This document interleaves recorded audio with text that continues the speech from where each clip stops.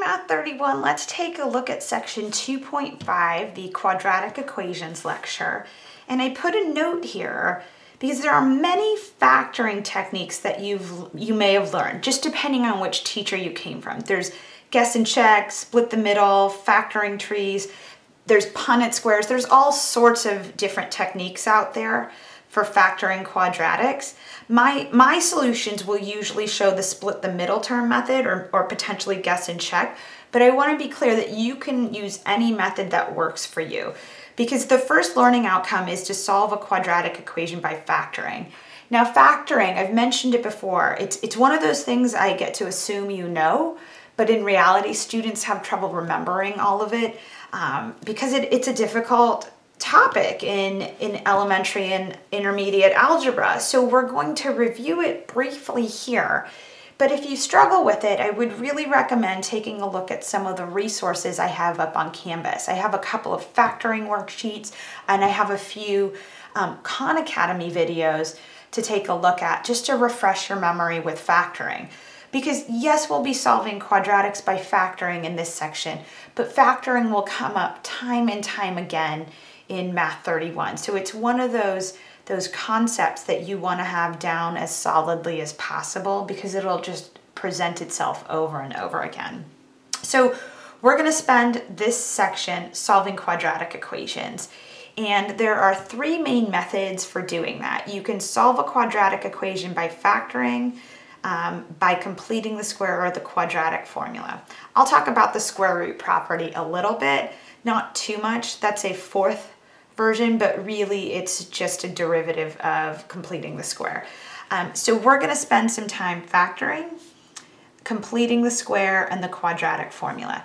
Now in terms of these three methods, I, I personally, I will try and factor first if I can, but there are many quadratics that I can't factor. And when I can't factor them, I go to the quadratic formula.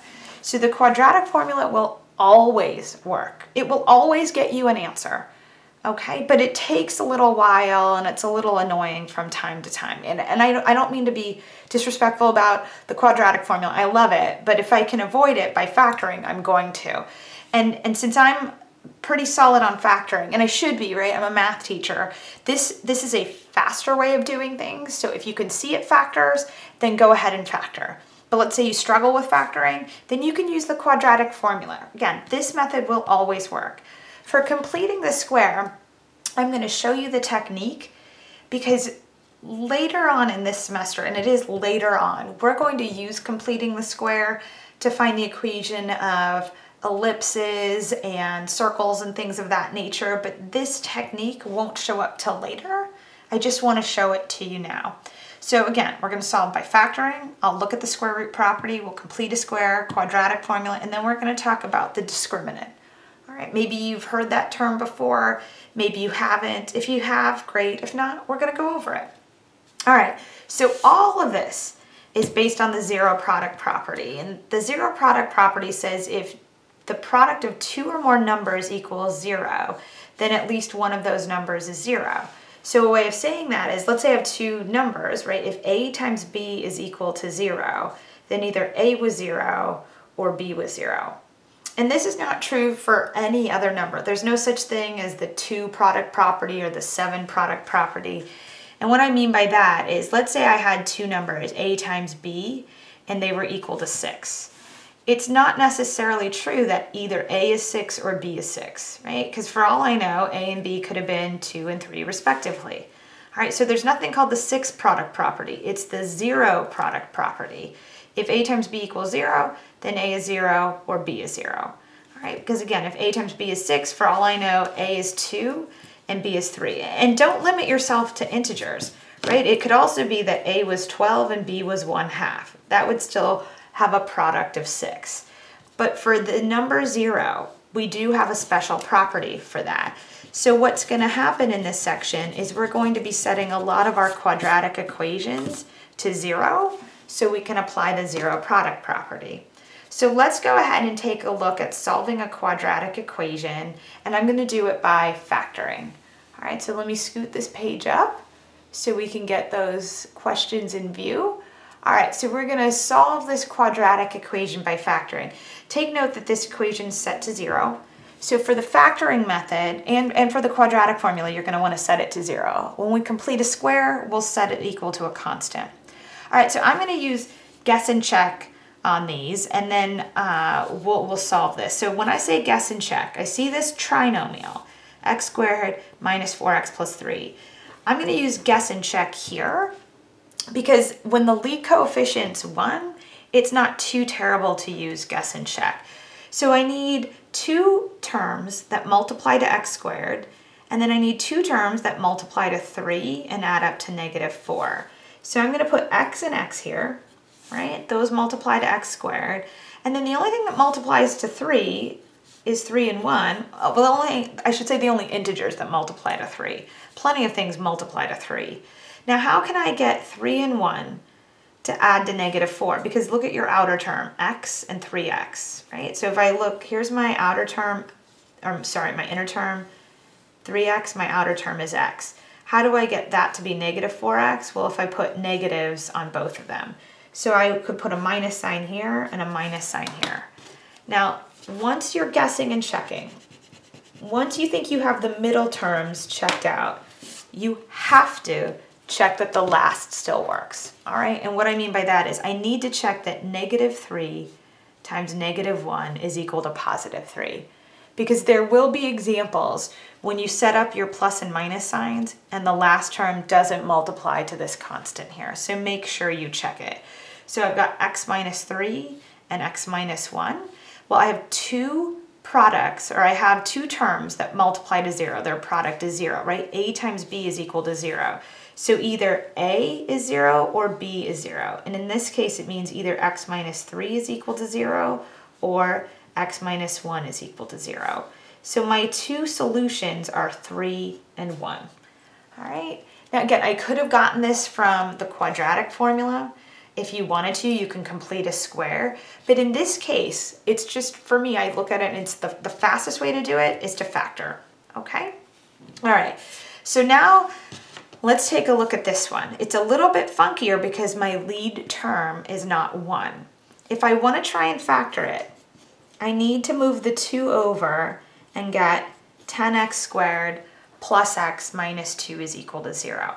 Now you're more than welcome to guess and check. And, and just for the sake of doing that, I, I am going to guess and check and then I'll show you split the middle. So if I wanted to guess and check, you have a few options, right? You think, okay, what could multiply to 10x squared? You could put 10x and x here, right? You could have put 5x and 2x here, right? You have a couple of options. I typically start with the, the less extreme one. And by that, I mean 10x and x, they're a difference of 9x, where if I try 5x and 2x, they're only off by 3x. So I tend to try the less extreme ones initially and see how that plays out. So that would have been my first guess, okay? And then the only things that multiply to 2 are 2 and 1. So let's say I put here 1 and 2. And I just want to show you what guess and check looks like when it fails, because it's good to see that too. So if I guess here 2x, right, for inner, outer 10x, is there any way to get 2x and 10x to be positive x? And the answer is no. I could get this to be 12x, right? Or maybe 8x, but I, I couldn't get it to be just x. So that, that is not a good answer. It doesn't work, okay? I guessed wrong. That's why we call this guess and check. So then I could switch the order here. So let me switch the order, put the 2 here and the 1 here. Now if I look at inner, I've got 4x. If I look at outer, I've got 5x. All right, now could I get 4x and 5x to be positive x? Sure, if this was positive and this was negative. So if I want the 4x to be negative, I need to put the negative with that number because the negative 2 will multiply by the positive 2x, and I'll put the plus sign here. And I mentioned this in part A. If you're going to do this, you have got to check that the last still holds. So let's take a look at my lasts for right now. I have negative 2, times positive 1. And negative 2 times positive 1 is negative 2, so that checks out. And I'll use the zero product property in just a moment and I'll get the solutions. All right. But with that, I do want to show you something called split the middle. Now I'm going to erase my work here just so I have space. Split the middle takes a little bit longer. So how split the middle works is you take a look at the coefficients in front of each of your terms. So A would equal 10, B would equal 1, C would equal negative 2. Just like if you were going to use the quadratic formula. So what you need to do is you need to look at your product, looks to be AC, and your sum looks to be B, okay? Now, this is split the middle. Your, your previous teacher may have called it something else, but let's see what we got. If I was gonna multiply A times C, I would have negative 20, all right? If I was gonna sum, I would have one. So what we need to do is find two numbers that multiply to negative 20, but add to positive one. And maybe you're seeing them now, maybe you're not. But if I had five times negative four, that would be negative 20, and five plus negative four is positive one, okay? So here's what split the middle term means. There, and, and I picked these only because I knew them. I mean, I could have tried 10 and negative 2 or negative 2 and 10. Actually, let me, before I show you the right way, let me show it to you failing just so you can see that. It's probably good to show you something that doesn't work. So in terms of products, I could have tried 10 times negative 2, but 10 plus negative 2 equals 8. So that, that wasn't working. I could have tried here negative 10 times positive 2, but negative 10 plus 2 is equal to negative 8. That doesn't work. I could have tried 20 and negative 1, right? Because 20 times negative 1 is negative 20, but 20 plus negative 1 equals 19. Doesn't work. So, so let me go to the one that does work, just so we see it. I could do 5 times negative 4, and 5 plus negative 4 is equal to positive 1. That's the, the product that unlocks, okay? Now, when you find that, the reason we call it split the middle, you're going to take a look at this sum.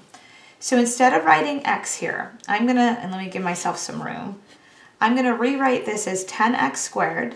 Now instead of plus x, I'm going to write plus 5x minus 4x minus 2 equals 0. Let me erase that equal sign there. So take a look at what I did. I took this middle term and I rewrote it as positive 5x minus 4x. Because if you look at that, 5 minus 4 is positive 1.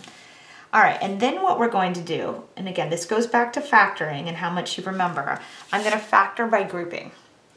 So I'm gonna factor out of these first two terms of 5x, and I'm going to get left with 2x plus 1.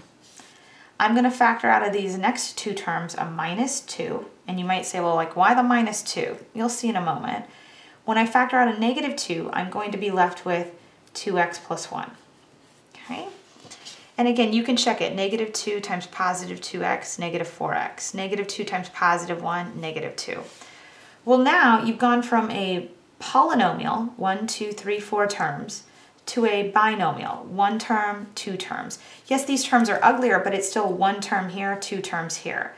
What do these two terms have in common? They have 2x plus 1 in common. I'm going to just put a little side note. I know I keep making a lot of side notes. If you had a times c plus b times c, what would you do? You would factor out the c and get left with a plus b. We're going to do the same thing in here. What do these two terms have in common? They have 2x plus 1 in common. What is left? 5x minus 2. All right. And if you remember, I know it's been a little while, but when I was doing guess and check, those were the two binomials I came up with, right? Now this takes a little bit longer, but there's a process for how you go through it, right? This will methodically get you through to an answer if one exists. So here now, again, I'm going to use the zero product property. So either 2x plus 1 is equal to 0 or 5x minus 2 is equal to 0. And since I'm kind of scrunched in here, I'm going to subtract 1 from both sides. I'll get 2x is equal to negative 1. I will add 2 to both sides here. I will get 5x is equal to 2. And because I'm so scrunched in, I'm going to put the answers here. x will either equal negative 1 half or positive 2 fifths. Right? Those are my two solutions for this problem. And, and typically when you solve a quadratic equation, you will get two solutions. They might be real or imaginary, or, or I should just leave it real or imaginary, um, but you should get two of them. All right, so let's take a look at what we got here. So when I mention a quadratic equation in one variable, right, it comes of the form ax squared plus bx plus c is equal to zero. We call that standard form. It's not the only form of the quadratic we'll ever look at, but that's standard form. All right, so with that, we're gonna flip the page and look at the square root property. I'll see you in a bit, bye.